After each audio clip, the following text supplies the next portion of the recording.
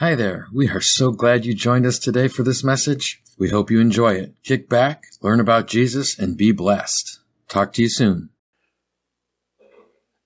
All right. Um, we're we are in chapter 22 of Matthew, and um, this is the parable of the wedding banquet. So it's kind of comes into play, speaking about being married and and all that that was being talked about. And uh, so Deborah went and told on me about going to the doctor. So I'm just going to tell you a little bit more about that. I, uh, well, first, I just want to tell you, I have to tell you some kind of a joke, right? So, you know what marriage is like? It's like two people smashing the trash down, hoping the other one gives in to take it out. That's what it's like. Or she's always standing in front of the drawer that I need to get in in the kitchen. Right?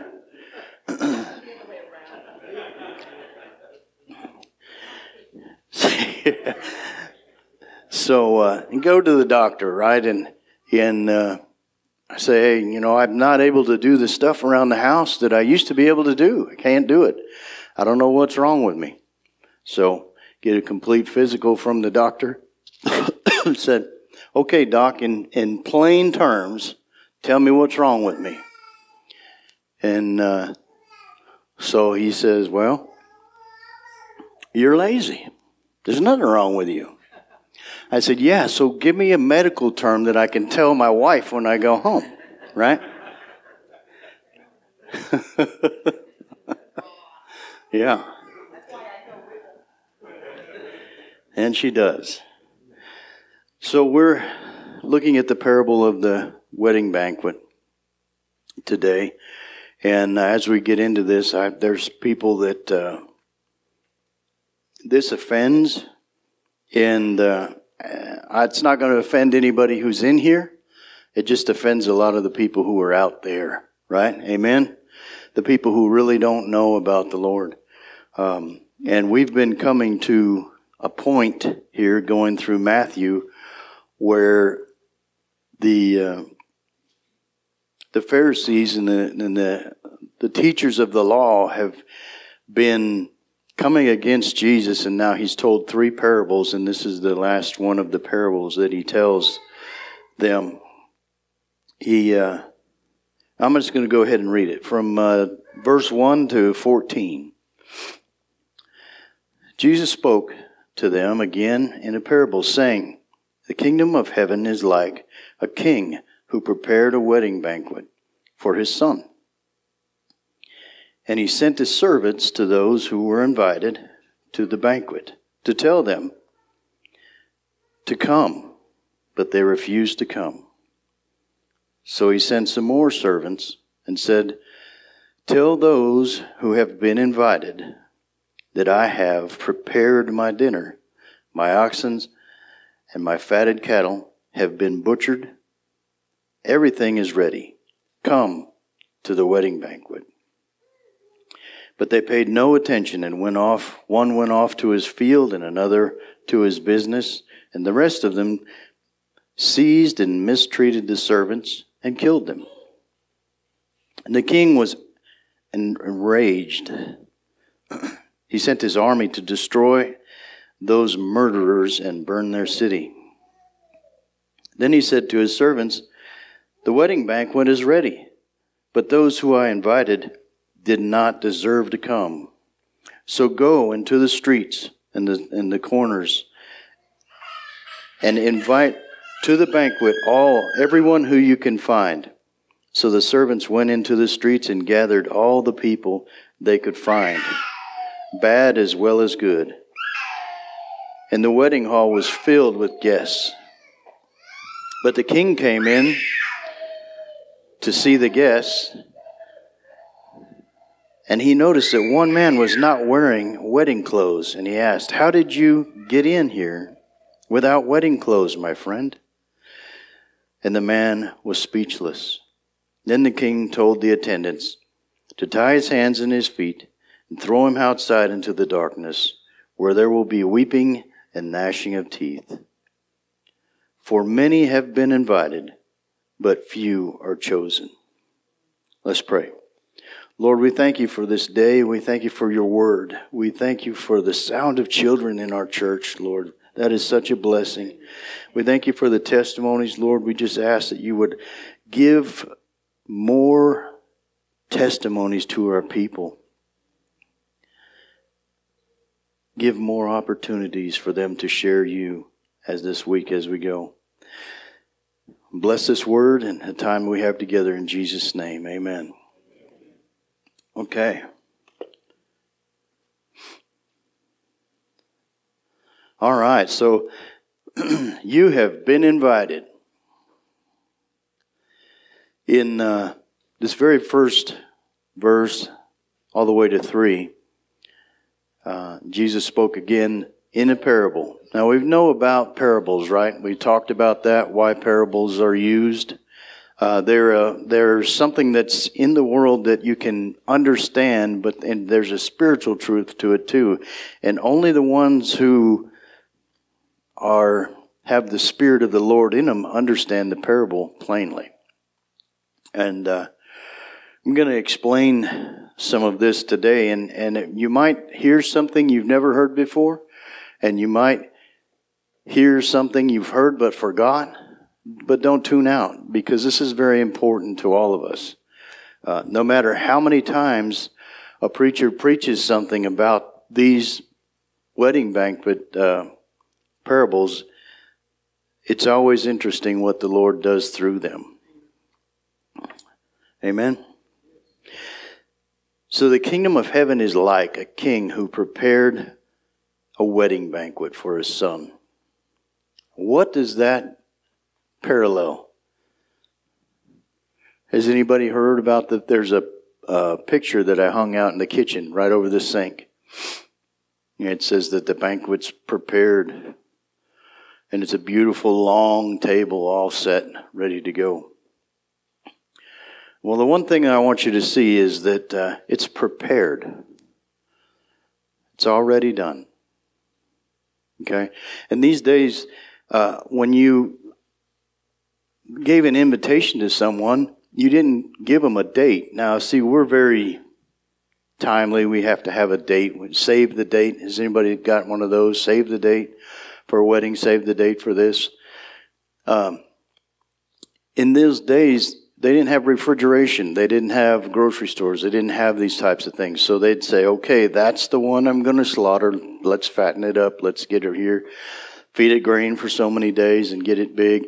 And then we're going to slaughter it. And then it's got to, you know, it's going to hang for a few days or so, whatever. It's got to be processed and all. So it takes time. So when you were invited to something, it was, if you said, well, when is it?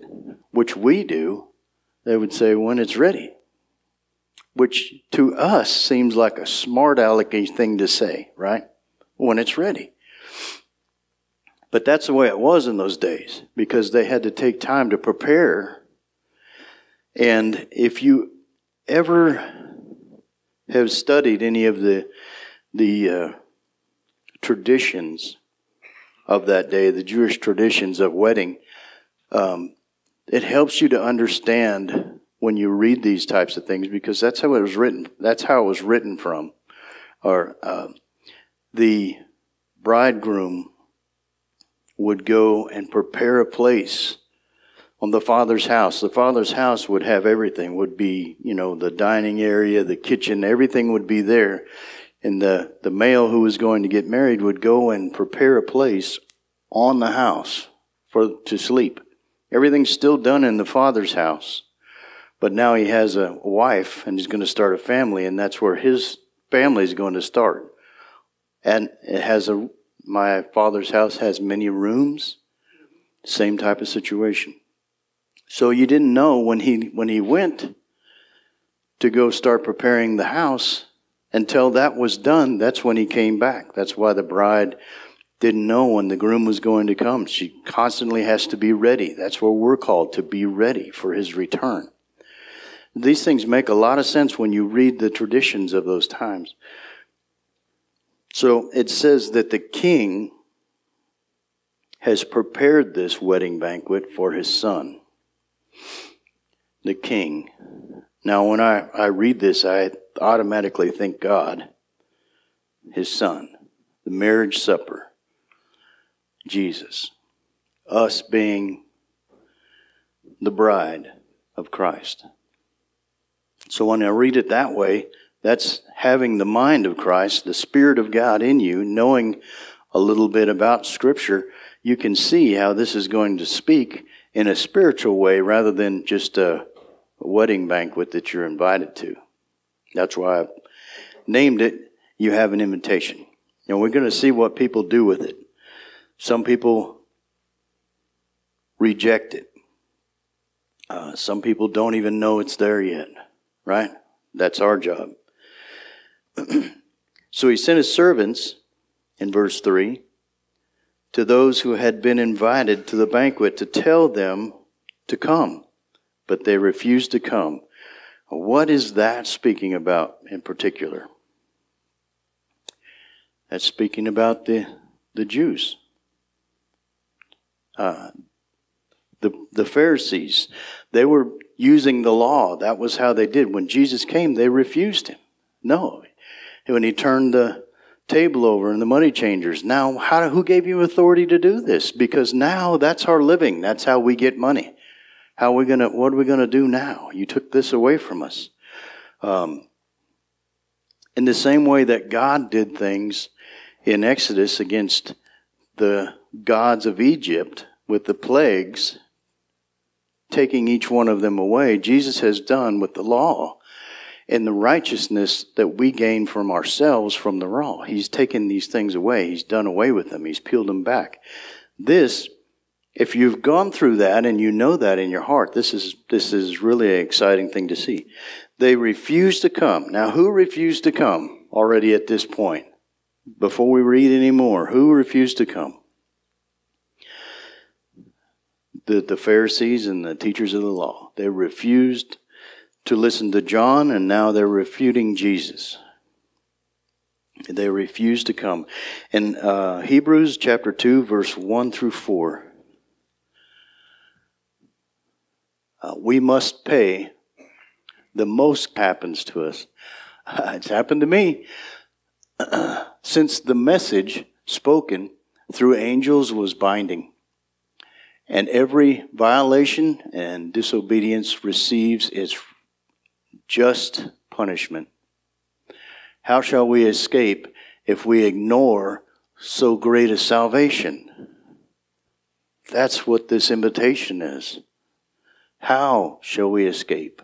This salvation, which was first announced by the Lord, the King, was confirmed to us by those who heard him, all the apostles, the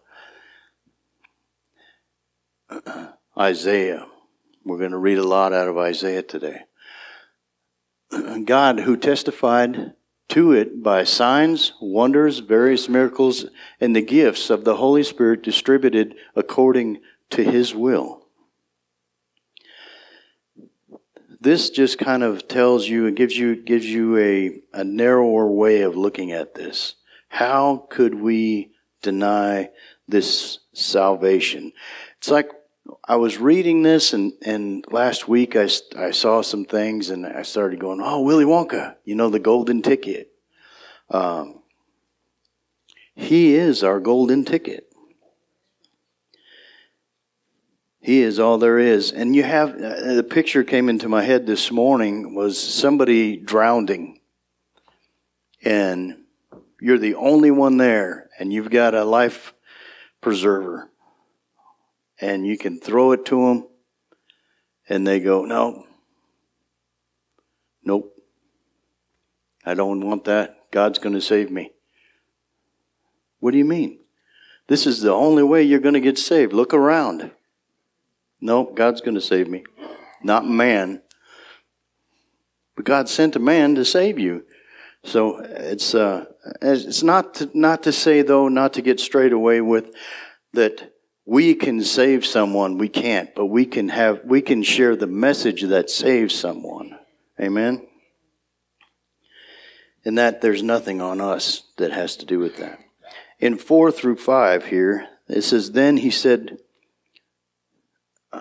Then he sent some more servants and said, Tell those who have been invited that I have prepared my dinner. It's already done. I've prepared it. My oxen and the fatted cattle have been butchered, and everything is ready. Come to the wedding banquet. Come to the wedding banquet.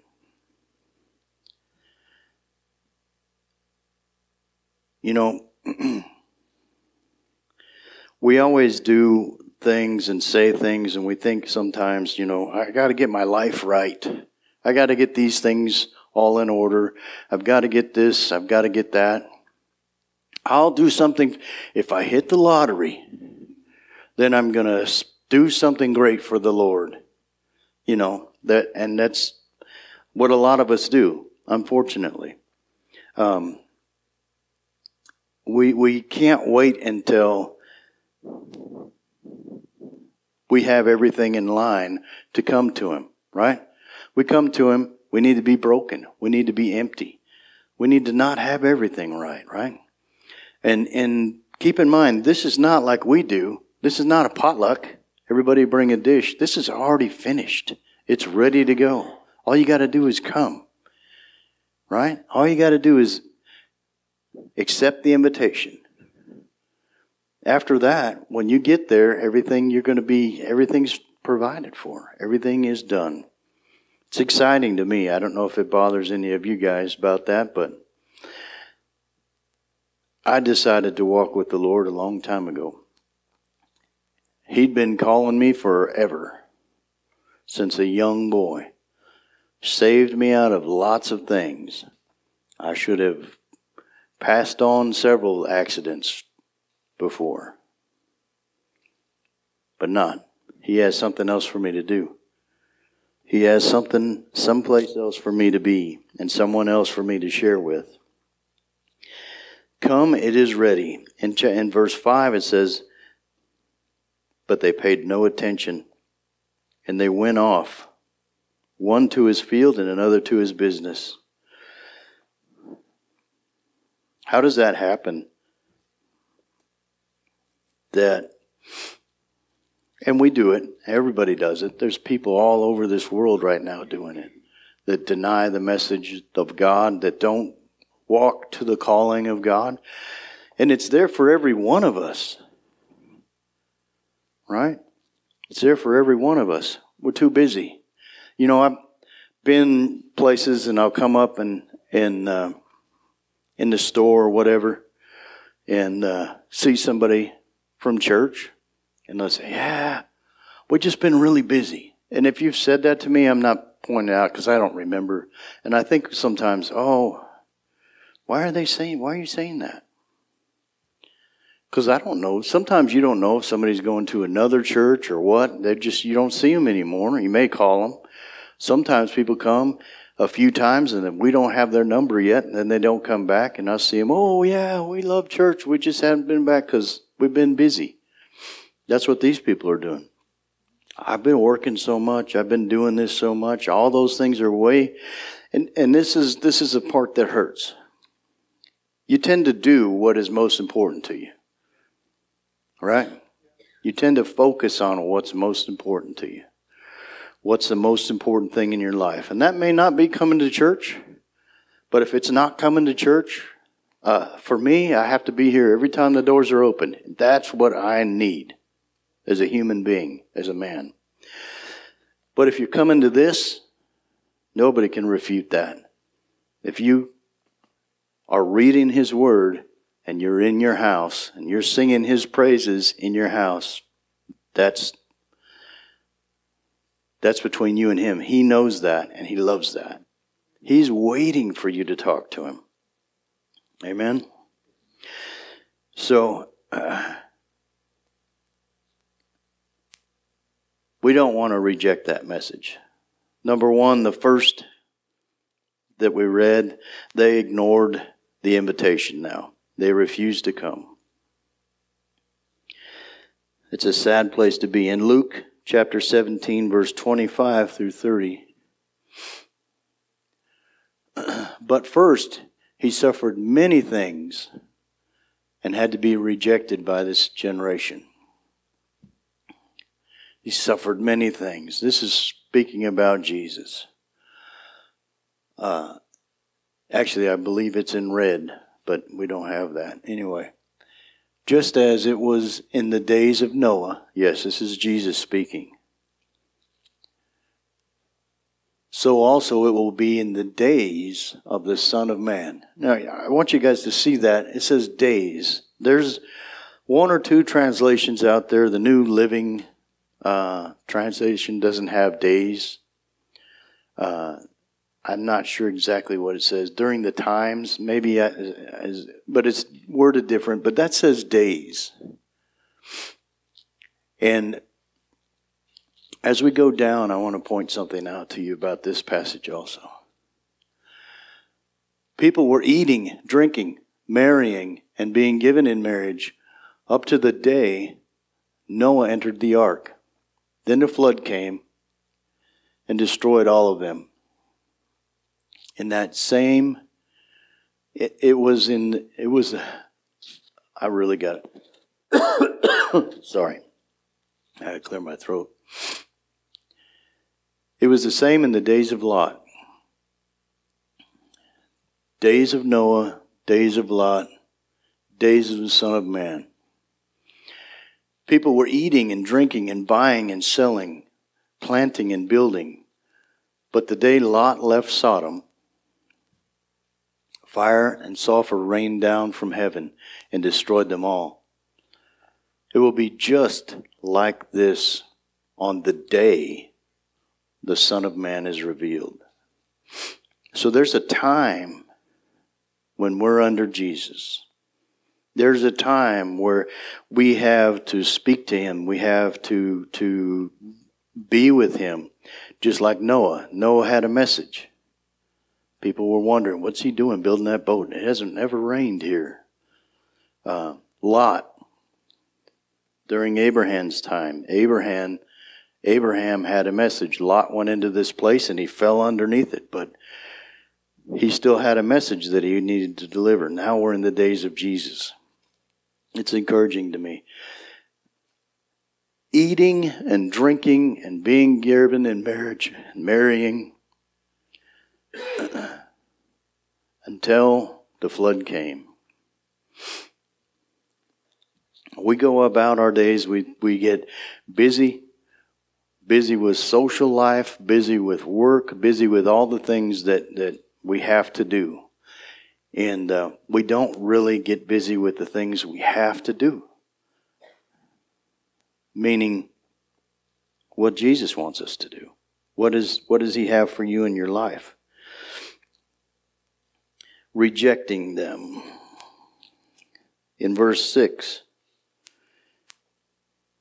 of Matthew, it says, The rest seized his servants, mistreated them, and killed them. They rejected him to the point of killing him. Now, what this is a foretelling of what's going to happen and what has happened to God's servants that he sent to speak to the people. Uh, it's also in the parable of the tenants the, the, that were farming the land. He sent the servants out and they beat him, mistreated him, killed one of them. He sent more servants out. So being a servant of God is not always a lap of luxury type of thing, right? People say, uh, and I've said it myself, uh, working for God doesn't have a great uh, paycheck, but it has a wonderful retirement plan, right? now that I'm closer to retirement, I, I, I uh, I understand that better. Amen. So, John uh, chapter 3, verse 19 through 21. This is the verdict light has come into the world, but people love darkness instead of light because of their deeds. Their deeds were evil. Everyone who does evil hates the light. Wow. That's tough. And will not come into the light for fear that their deeds will be exposed. Hmm.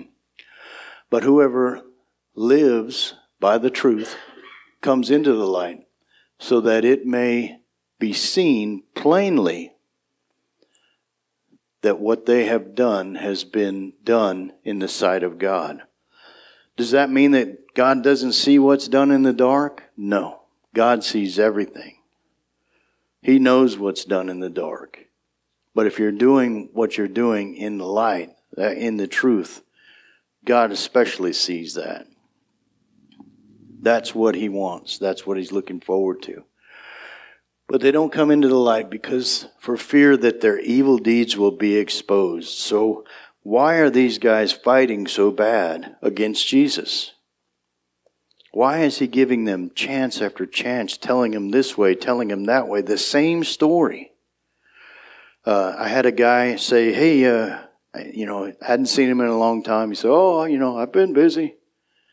And uh, he said, Over there, over there at that church, or uh, you're the preacher now. And I said, Yes, sir. And he said, Are you like them other preachers? Keep repeating and repeating and repeating the same thing until it's pounded in my head? And I said, I don't know. I don't know. I don't know. Why don't you come and find out? Because I don't know. That's four I don't knows. Wait a minute. Maybe I am. Maybe I do. But I don't know, you know. Anyways, haven't seen him yet, but one day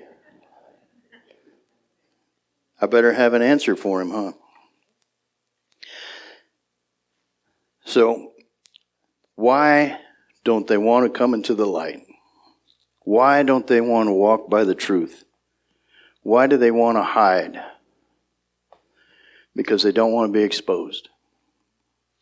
They don't want to be exposed. They don't want the things that they do, the things that they think, the things that they twist around to to manipulate people or whatever. They don't want that exposed. Um, basically, you can you can pretty much say as a blanket, we all have some of that in our lives, right? But does it outweigh the good? Is it? Are you completely covered with it? You know, are you? Are you? St- is that blanket just down around your feet? Time change. only the white man will fold a blanket in half and pull it up. It was an Indian deal. Only a white man will fold a blanket in half and pull it up when he gets cold and push it down. Time change. I thought they were going to get rid of that. yeah. It's funny. This time change, you don't hear anything about it, right? I was here at 5:30 this morning. I thought it was 6:30. and that was okay. I mean, I love coming here, but uh, you know, and, and when it changes forward or back, when it springs back, uh, yeah, okay, that one. man, it's weeks. My wife is like, oh my gosh, this time change. I'm like, it's an hour. It's an hour. Oh, this time change. I just can't do anything. Fly where you fly somewhere and you leave at night and you fly and it's still night. That'll mess up your body, not one hour. Come on.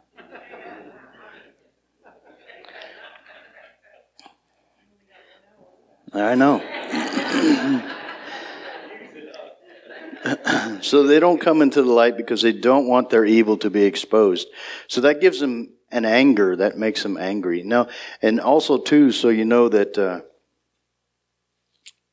35 to 40 years after this, uh, Israel, uh, Jerusalem, was uh, overrun by the Roman army, and smashed and burned. This is the very city that he's talking about, that, that he's speaking about, the very religious item of the day, is going to be smashed and burned. That's amazing that when he speaks about something, he already sees it as being done. We're look and go, man, that's that's awesome. But violent rejection uh, as to killing someone, as in Jesus, caused that uh, Jerusalem to be smashed and burned. The way it says here in 7, the king was, uh, 7 of 22, the king was enraged and he sent his army to destroy those murderers and burn their city. It's amazing that that all comes together.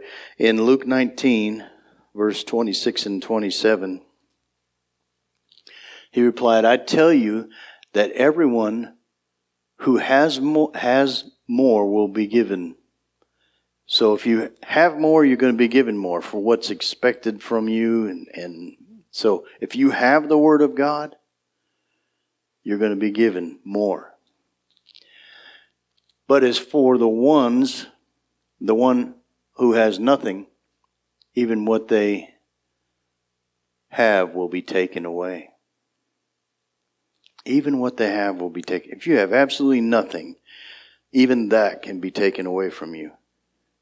That's hard to imagine when you have nothing for that to be taken from you. But when you have a piece of God's Word, you're going to get more. Why? Because you're leaning that way, because you're thinking that way, because you're talking that way, because you're hearing that way, and you're seeing that way.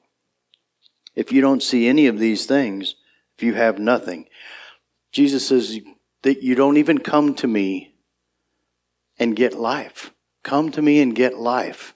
When you think about that, you know, we're alive, we move around, but we don't even have life without Jesus. What does that mean? That's not, that's just not the time here. That life with Christ gives us an eternity life, which is much bigger than what we have here, much bigger than what we can imagine as as humans. I had uh, Pastor Larry one time took a spool of thread, yellow thread, and he said he he took a piece of it and tied a knot. And he said, "See, from here to here, that's your life. You were born and you died." And then he took that spool of thread and went, and he said, "That's eternity." And it went all the way down to the back doors and rolled on through. That was amazing for me as a, as a young man to, to see something like that made a lot more sense than somebody just telling me. Because you couldn't even see the spool anymore, it went out the door. I don't know, any of you visual people? Well, no, you aren't. Been working on that. Hearing test is next. Okay, so But those enemies of mine who did not want me to be king over them, wow, that's tough. That's tough right there. The enemies of mine who did not want me to be king over them, bring them here and kill them in front of me. We're talking about a violent, unaccepting revolt against Christ, right? In does anyone have anybody in their life that uh, that doesn't want you to be, or a boss that you can't stand, or somebody in a high position that you can't stand. I'm waiting for somebody to start talking about the president. But somebody, I'm kidding. So somebody that you can't stand that you say, man, I just want that person out of here, done with, gone, finished.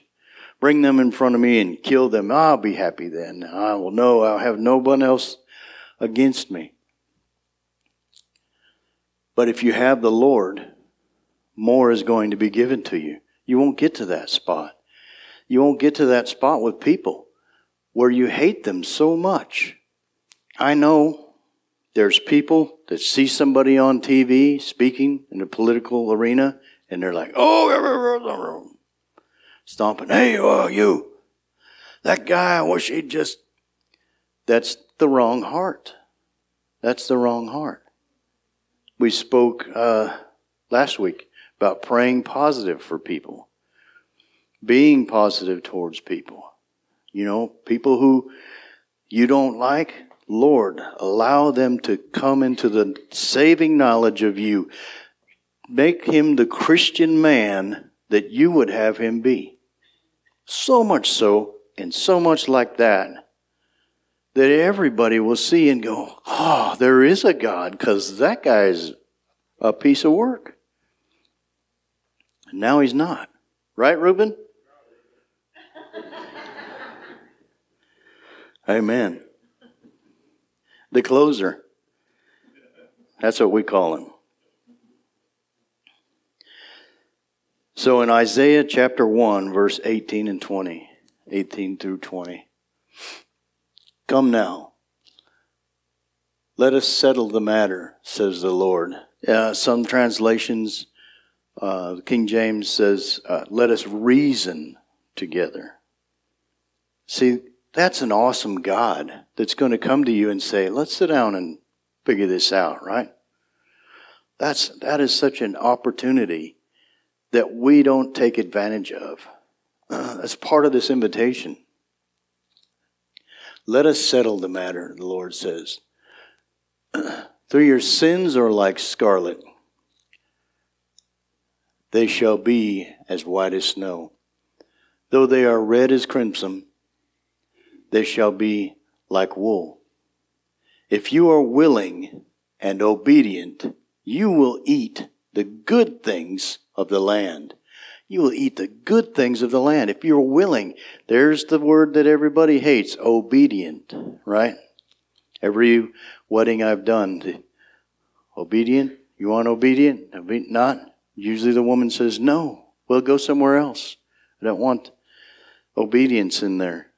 You know, we'll, we'll step around that. But it's a big part of being obedient to someone means that you love them and you respect them. Correct? And if you can't love them and respect them, what does it say here? But if you resist and rebel, you will be devoured by the sword. For the mouth of the Lord has spoken. Now, I said that, but I'm not the mouth of the Lord. I'm a mouthpiece. There's many mouthpieces. You guys are mouthpieces.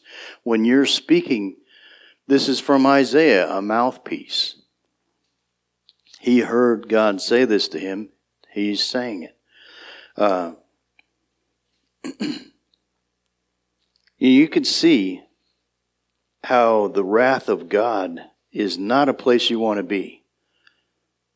Not because you're too busy, not because of anything. What, whatever could make you run to the wrath of God? What could? I, I can't come up with anything. Just complete ignorance, I guess. In verse uh, 8 through 10, here he says, Then he, he said to his servants, uh, The wedding banquet is ready, but those I invited did not deserve to come. He's speaking about Israel at that time.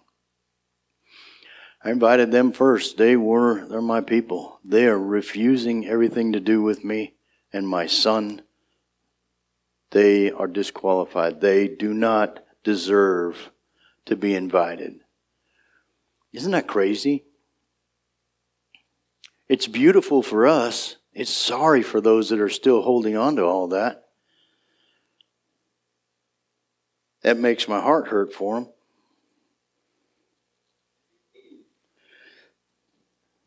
Because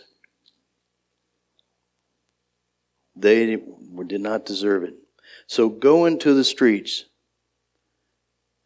There's a street, the corners, and invite to the banquet anyone you can find. This is where it opens up to the Gentiles, to all people, to all nations. Go to all the world. He knew already this was going to come to pass. He knew this had to happen. That's why Jesus came, for this to happen. He's foretelling us a story here that's just beautiful when you put it all together. Into the streets. So the servants went out into the streets and gathered all the people they could find the bad as well as the good. The bad as well as the good. Now, we're sitting in a church right now. I'm going to tell you, there's bad people everywhere. Now, I don't want to say anybody in this church is bad, but it tells us right there you're, it's the bad and the good. They're all invited. Is that an awesome God or what? Because I was bad before I gave my life to the Lord. And now, sometimes I am bad. Sometimes I do wrong stuff. I talk to him and I get punished from her. So it, it, it works. I mean, he takes care of it, right? He takes care of that too.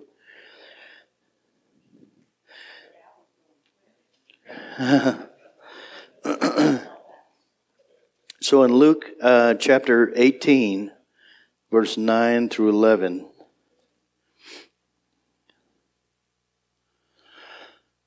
to some who were confident in their own righteousness and looked down on everyone else. You know anybody like that?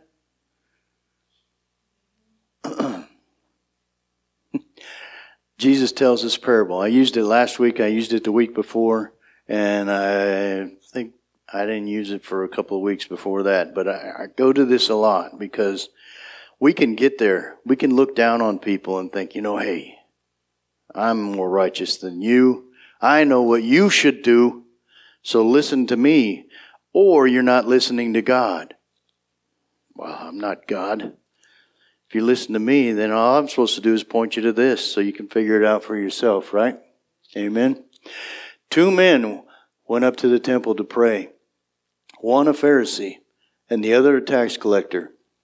And the Pharisee stood by himself and prayed, God, I thank you that I am not like the other people robbers, evildoers, adulterers, or even like that tax collector over there. You know anybody like that? Have you ever been called a holy roller?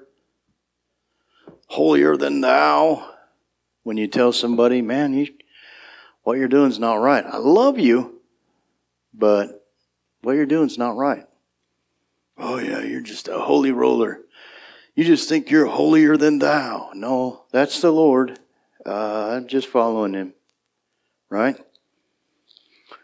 But people, when you get under their skin, they get angry and they come after you. You know, they come after God. That's what they're doing. They're coming after God because they're angry. They're coming into the light. Their evil is being exposed. It's being peeled back. God's showing them things and they don't like it. In uh, 11 and 12,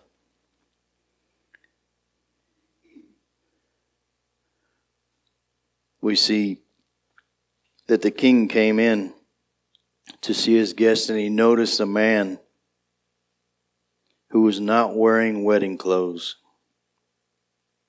And he asked, How did you get in here without wedding clothes, friend. And the man was speechless. Do I need to say anything about that? Yeah, okay, I will then. Um,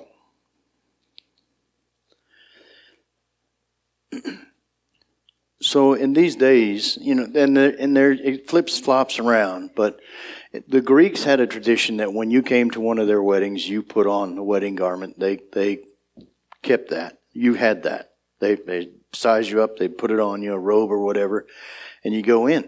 Everything's provided. Remember, everything's done. Right?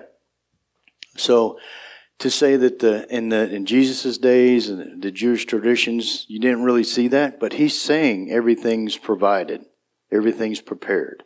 Now go out into the streets and get everybody, anybody who will come. So who's going to come? The people who don't have nothing else to do, or they have absolutely nothing, right? Maybe what they're wearing is what their clothes they're going to wear. So he's going to provide a robe, wedding clothes for each person. You know, and we're not talking about just a just a tunic that you put on or or a, a, a robe that you put on. We're talking about custom fit from our God, a robe that fits you. he's going to know what size you are if you're losing weight. He's going to know what size you are if you're gaining weight, right? Custom for you. That's a mighty God. Amen. So when when we get to this part and we read that this guy he doesn't have any clothes on, any wedding clothes on, that's where we're. That's the the terminology that we come to. Everything's provided, so everyone that was coming to the wedding had the same clothes on that they were provided for the wedding. Right? This one guy don't have anything on. How'd you get in here? How'd you get in here? I want to ask you today. We've been talking about this all all through as we've been going, and this is tough. But if if Jesus was to come and walk through here would he stop and say, How'd you get in here? You don't have your wedding clothes on. You know, you have to think about that. So, what would that entail? What would that entail? Uh, in Romans chapter 3, verse 21 and 22. But now, apart from the law, the righteousness of God has been made known, to which the law and the prophets testified. This makes a lot of people very angry, right? this righteousness is given through faith in Jesus Christ to all who believe. To all who believe. There is no difference between Jew and Gentile. Ouch. Right now, there's no difference in the color of our skin when God looks at us. There's no difference. What does He look at? He looks at the heart, right? He knows what's going on with the heart. He knows what's going on with my heart. He knows your heart. The skin don't matter. The tattoos don't matter, the haircut don't matter, the color of cut don't matter, whatever it is. All those things don't matter.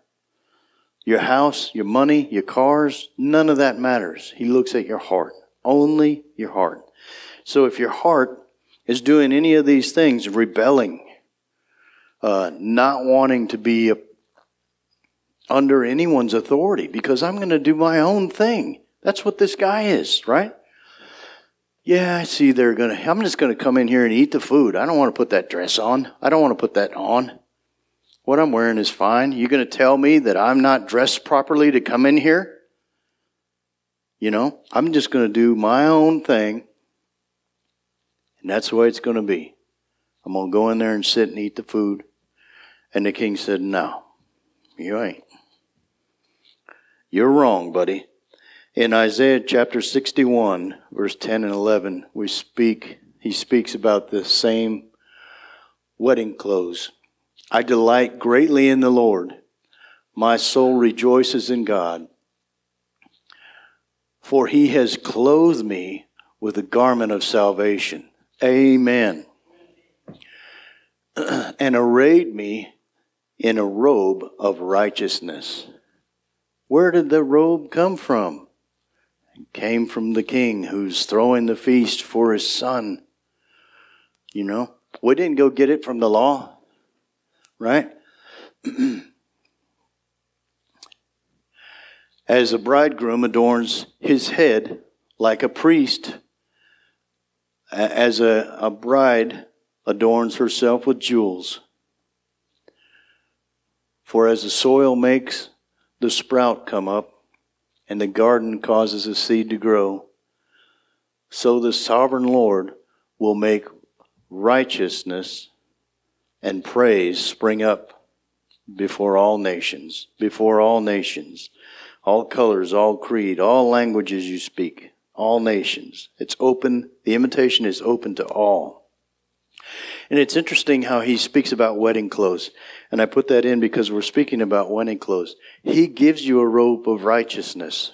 There's people out there that'll tell you, oh, now see what you've done. You can't wear that robe. You can't have that robe on anymore. See what you did? Nope. You you can't do it. You can go sin. Oh no. You got to get that robe's gone now, buddy. What are you going to do? You don't got no more righteousness. Let me ask you, truthfully, from your heart, where were you when he put a robe on you of righteousness? The worst. The absolute worst. At the bottom. The only way up was God. For me, right? He put that robe on me when I was at the worst place in my life. There's people that will tell you if you say, do, think, act, you lose that.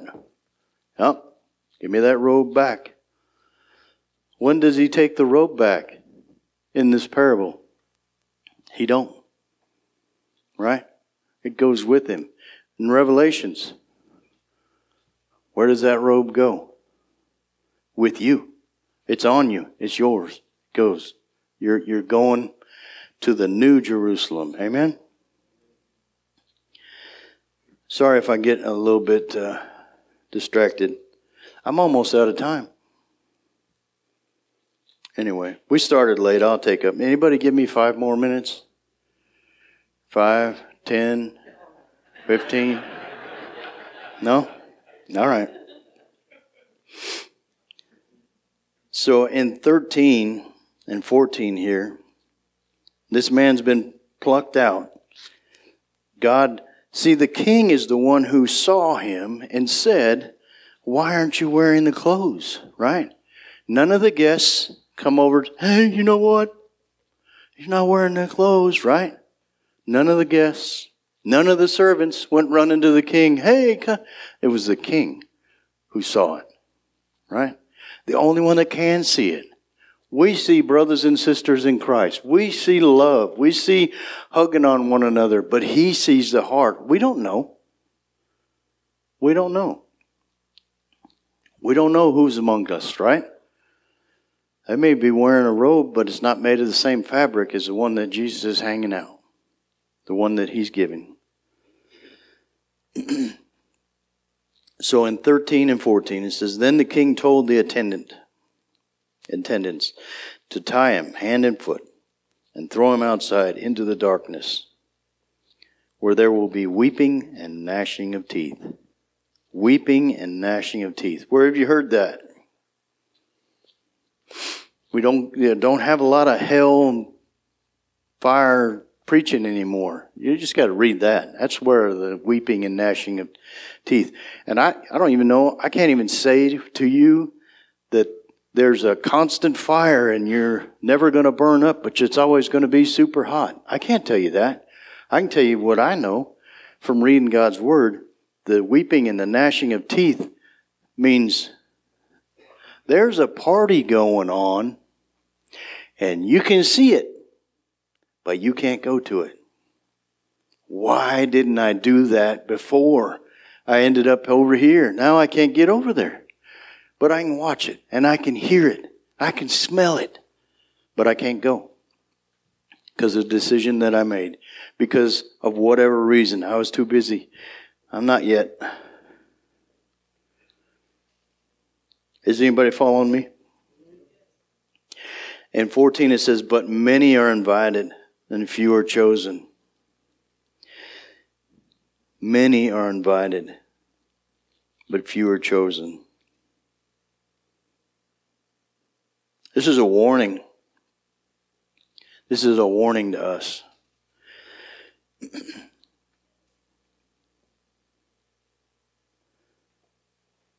that uh,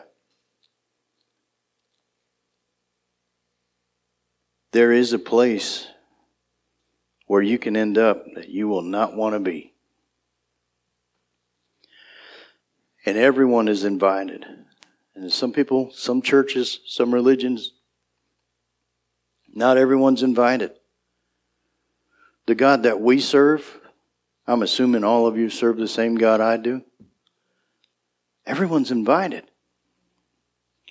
Even the guy who cut you off on the way to church, or the lady that was behind you honking her horn all the way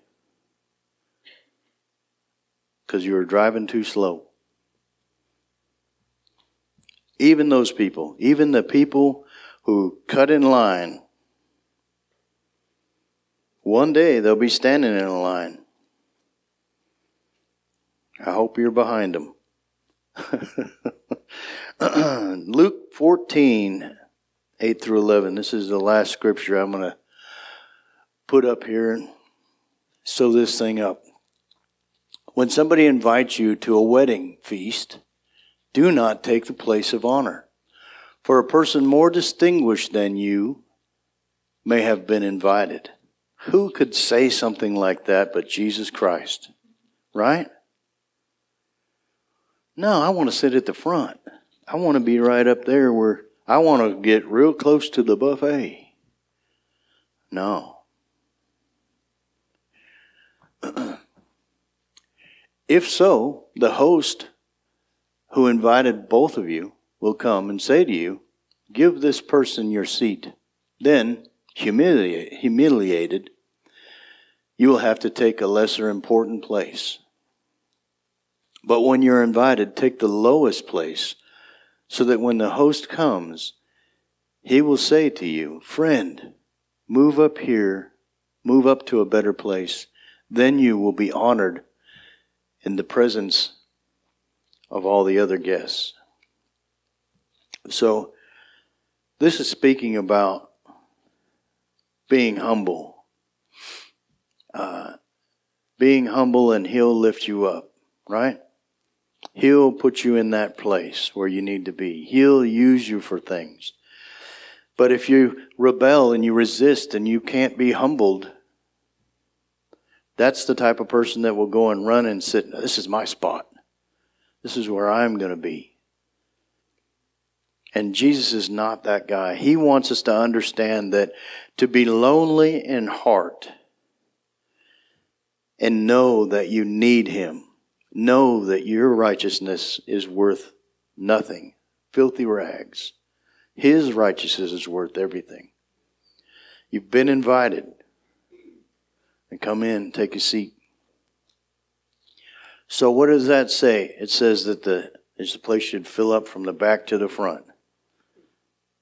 You ever see things fill up to, from the back to the front? Besides movies, theaters, you know? Usually not. That's why in a restaurant, you, uh, the little restaurant, seat yourself. But big restaurants, you don't seat yourself. They don't want everybody sitting right by the lobster tank or right, you know, by the bar or right by the bathroom. They got to move you around. Anyways, you have been invited. There's all kinds of reasons why we don't take the invitation. If you say, I can't afford it, He paid for it. Everything's done. I can't afford the robe. He's going to give it to you. Uh, I can't find it. I can't find the address. I was going, but I couldn't find the address. Wow, that's a good one, huh? Uh, all you got to do is come to Him. Right? All you got to do is come to the Lord. Come and ask for help. Come and ask to be cleansed. Or you can say, I'm not ready yet. I'm just not ready yet. I just don't have the, I don't understand enough about this thing to try to do this or what. I can tell you this I am a member and gone through membership classes to almost every church there is. And all of that, I can tell you one thing What did Jesus say? Follow me. Follow me to this building where you're going to be a member of this church. No, he said, follow me. He, he didn't say, follow me and then separate. He said, follow me. So if they're doing something over there or doing something over there, if they're doing it for God, then it's going to be a good thing. If they're doing it for themselves, then they'll probably have more people than we do because they might be telling you what you want to hear. They might be just giving you entertainment. God's people love the truth, but the worldly people do not like the truth. They don't like it one bit. It doesn't fit. But if you say, I'm not ready yet, you might as well just say, no. I'm not going to, I don't want that. I don't want that. Because you can have as much of God as you want. Always and forever. Apart from Christ, everything I am and have is filthy rags. But with Him, I have the best of everything.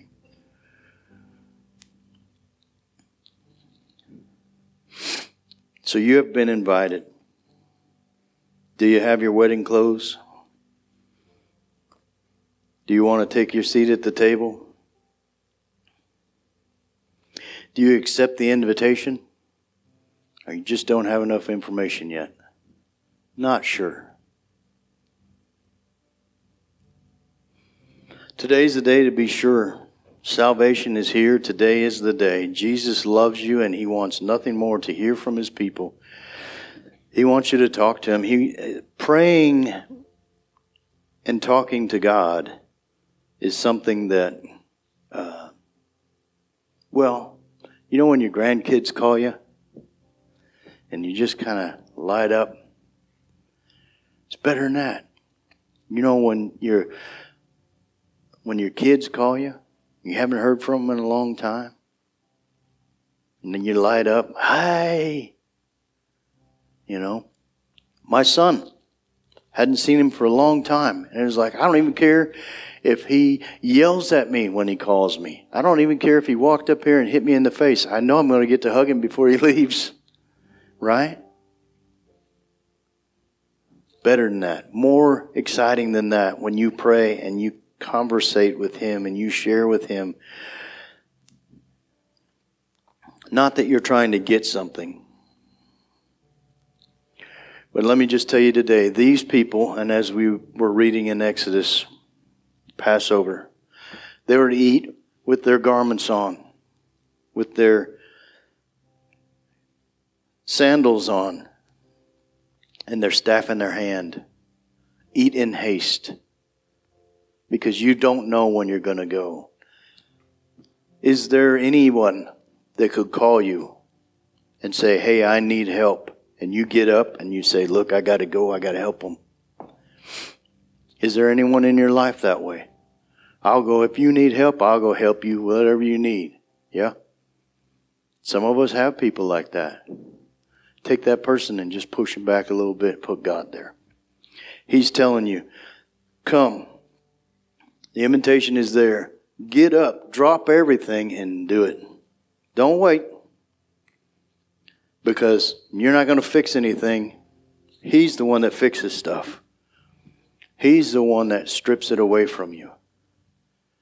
He's the one that loves you no matter what you look like